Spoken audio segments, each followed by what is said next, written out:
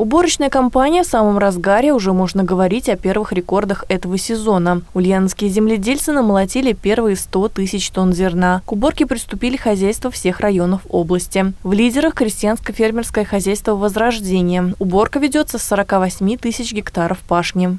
На данный момент э, на землях Чердаклинского и Старомайнского уборка озимых завершена с урожайностью 38 центнеров и продолжается в Меликесском районе на землях СПК Крупского. А в Старомайнском районе перешли на яровой ячмень, убрано первое поле. Накануне с работой хозяйства ознакомился губернатор Сергей Морозов. Он поздравил аграриев с первыми успехами уборки. Первые 100 тысяч тонн сегодня, как факт, мы подтверждаем, что уже набрали в наш общий, скажем так, резерв Ульяновской области, продовольственной безопасности Российской Федерации. 100 тысяч тонн 100 тысяч первых есть, да? Да, зерна уже есть. В целом, по Ульяновской области зерновые и зернобобовые культуры убраны с 46 тысяч гектаров земли. Это около 8% от плана. Рыжик убран на 96%. Продолжается заготовка кормов.